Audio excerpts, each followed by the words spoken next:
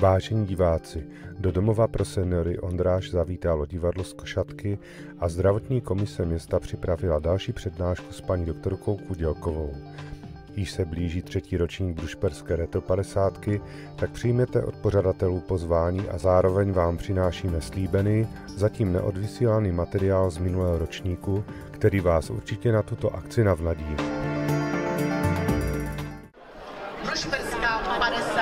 50 retro. Byli seznámení s trasami. 10 kilometrů po kopečcích okolo Brušperka.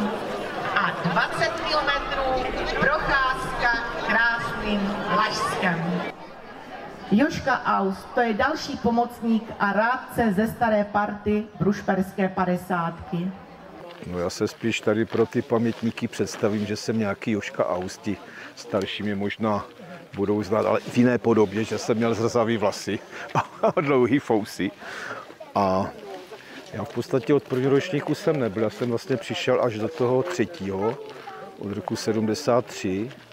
My jsme se tady motali jako mladí hoši kolem toho a vlastně začala tady spíš taková ta idea spojit dálkový pochod i s nějakou kulturou. Takže vlastně začaly předtím kapely z kant, spíš folkové country, které tady byly večer předtím, byl táborák, druhý den byl vlastně ten pochod, takže to bylo pro nás když jsme byli mladší, náročnější, protože ještě předtím ten týden jsme vlastně značili trasy a ty trasy byly v podstatě, já nevím, 50 km, 30, takže byli jsme toho za ten týden v neděli docela plný kecky. Máte si trať 10 nebo 20 kilometrů a zavedete už startovní pozici na to říčkáře. Brušperská 50 startuje přesně 9 hodin. Od roku 73 a až prakticky do toho konce do roku 89, že jsem se vlastně kolem toho, dá se říct, motal, nebo jsem se neustále zúčastňoval a vlastně přicházeli další a další jako lidi mladší, kteří prostě kolem toho pochodu dělali ty další věci. Že dneska je to trošku jiný a vlastně Miloš Loni říkal, jak to vlastně vzniklo tady to retro, že byl takový jako idea, byla 50 roku od výročí toho pochodu, byla vlastně televize, byl vlastně článek v Brušperském zpravodaji a tady taky mám zrovna spolužáky, jako kteří tady kdysi, kdysi byli dávno. Samozřejmě můžete uhasit vyprahlý po pochodu žízeň Jantarovou 15. Frantaček, on bydlí teď v Jeseníku jako, a on tady taky, že my jsme tady chodívali vlastně, jak se jsem chodil na Gimpel ve Vítkovicích, a tady vlastně chodili kantoři jako a prostě taková část, řekněme 50 lidí, kteří jsme tam zblbli, jakože Brušperk pro mě byla taková atrakce v té Ostravě, takže tady se přespávalo na myslivecké chatě, nebo byla, byli vlastně u Tochy byla, myslím, taky klubovna SSM, pak ještě nějaký, dokonce myslím i v Národním domě, jednu dobu to taky bývalo, takže tady ti kluci přespali, nebo se přespalo u ohně, že a ráno se prostě chodilo. Startuje se podle hodinek pana Vontroby. Pět do startu. Pět do startu! Připravte se. Cíl!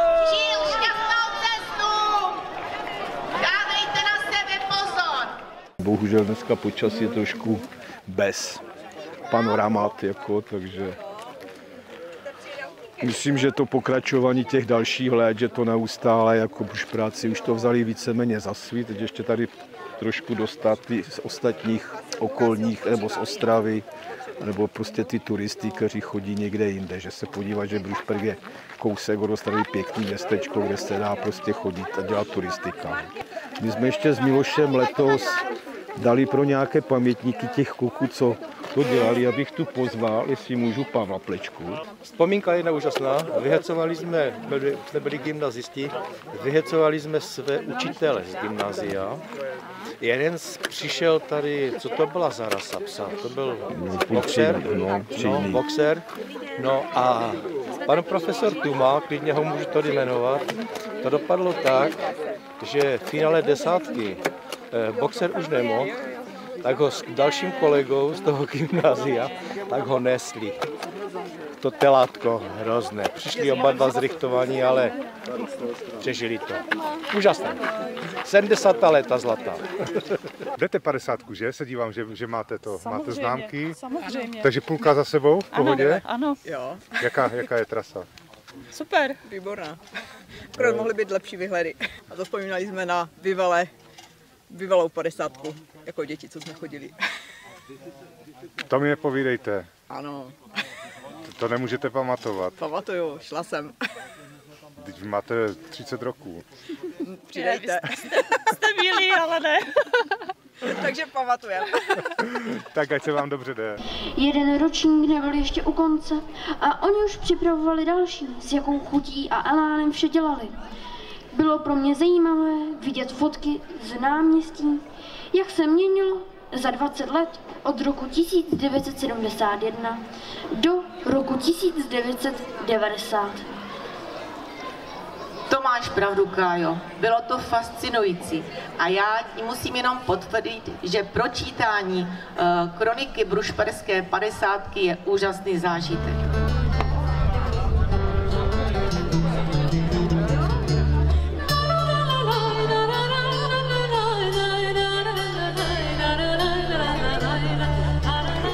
Dobrý den, tak co, bolí nohy?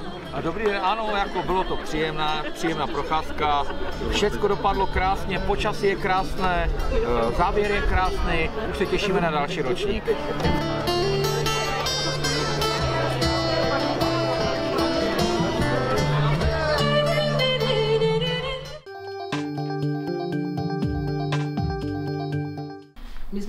Poprosili paní doktorku Petru Kudělkovou, jestli by si nepřipravila zase nějakou zajímavou přednášku.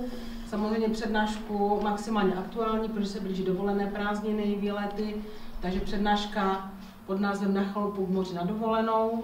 Takže já si myslím, že se dozvíme spolu spoustu důležitého, takže já vám slovo paní doktorce. Prosím vás, pokud půjdete někam na uh, delší trasu, to znamená, půjdete někam na pobyt, uh, dva dny a více, já říkám, tak to, co byste měli být určitě s sebou, jsou léky, které pravidelně prostě berete. Jo, na to nezapomínat. Teď už jsou uh, jakoby lékové záznamy, takže pokud nadiktujete svoje rodné číslo, ten lékař se do toho dostane, takže opravdu, i kdybyste mu tvrdila, nebo tvrdil, že berete neuro a chcete ho, tak v tom lékovém záznamu opravdu vidí, jestli ho berete a hlavně, jestli jste si ho dva dny dozadu 100 krabičkové a 100 tabletkové balení nechali napsat u nějakého lékaře jakoby mm, z jiné ambulance. Taková zajímavá praxe je, že uh, existuje uh, zolpinoxová anebo neurolová turistika v České republice a to jsou pacienti, kteří si opravdu tak různě volají a tvrdí, že jsou v Praze na výletě, pak jsou ve Fritku na výletě, pak jsou někde v Třeboně na výletě a pořád je to ten a ten samý pacient a nechává si to prostě několikrát napsat. Jo? Ale týká se to hlavně opravdu jakoby ty pravidelně užívaných léků, co jsou sedativní, a nebo jsou to analgetika. V domově pro seniory Ondráž mají pestrý program, přichystaný právě pro jejich klienty. Tentokrát zde proběhlo divadlo, vystoupil divadelní soubor z nedaleké košatky. Na tom hradě vyrůstala krásná princezna Sněhurka. Já jsem s dětma začala dělat pohádky, že si uděláme to jako program na ples. Jenže když jsme to trénovali dva, tři měsíce, tak jsme si potom řekli, že jedno představení přece nestačí, když to děti umí a když je to tak krásné a vypravné, protože jsme postupně každý rok přidali nějakou kulisu, nějakou oponu, něco se spravilo, upravilo, kostýmy a tak. A tak jsem si říkala, když s tím je tolik práce, tak proč to někde neprodat? Tak jsme se starostou domluvili na obecní slavnosti tak jsme vlastně měli premiéru na maškarním plese a pak jsme měli hrát na obecních slavnostech. Ale co s tím časem mezi tím, když už jsme to měli naskoušené? Ale když Sněhurka vyrostla do krásy, všechno se změnilo. Jako nej, nejlepší věc byla ve škole hrát, že? Protože paní ředitelka přišla s tím, ať to zahrajeme ve škole pro děti, potom se přidala jiná paní ředitelka, takže hrajeme třeba Jistebník, Stará Ves, Petřvald, Krmelín, tady ty okolní vesnice navštěvujeme školy a hrajeme pro děti. takže většinou pro, pro děti jako školní, i pro školkové, nebo i pro mateřskou školku. Takže my vlastně takhle mezi tím, než jsou ty obecní slavnosti, hrajeme právě po těch školách, právě i po domovech. Hráli jsme třeba i na požádání, protože to je o tom, když se s někým setkám a nějak se domluvíme, tak jsme hráli třeba i v Moglinově pro tělesně postižené. Tam jako děti trošku jsou z toho špatní, protože jak vidí ty lidi, jak jsou na tom, tak eh, je to těžké, ale myslím, že jim to taky hodně dá. Není tak divně. A na věky už bude spát. No bylo to vlastně s tím, že jsem měla taky děti malé, že?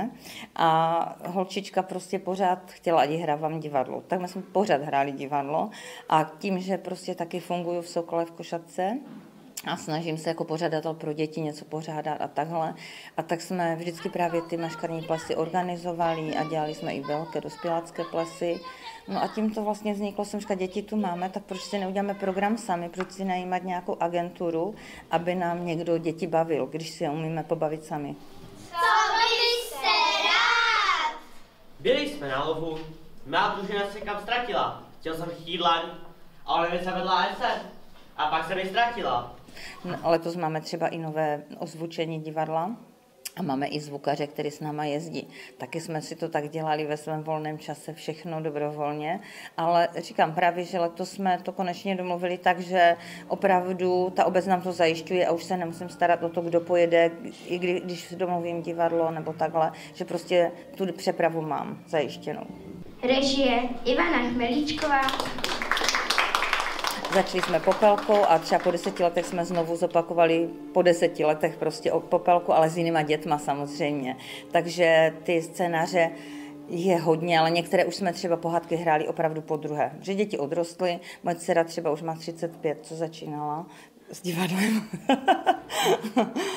a takže jako ty děti odrostou vlastně, vždycky každý rok přicházejí, nebo Některé třeba vydrží, že hrají třeba i pět let po sobě, že už jsou jakoby zkušení herci, dalo by se říct. Někteří jsou poprvé. Zrovna dneska tam mám taky holčičku, její táta hrál. Její táta hrál divadlo a ona už má vlastně pět let, ale to s náma začala hrát. Protože tatínek řekl, že když hrál u tety, takže ona bude hrát taky u tety. No já jsem totiž pro celou košatku teta. Tak jako můžu poděkovat všem, co mi pomáhají v tomhle, protože je to hodně náročné.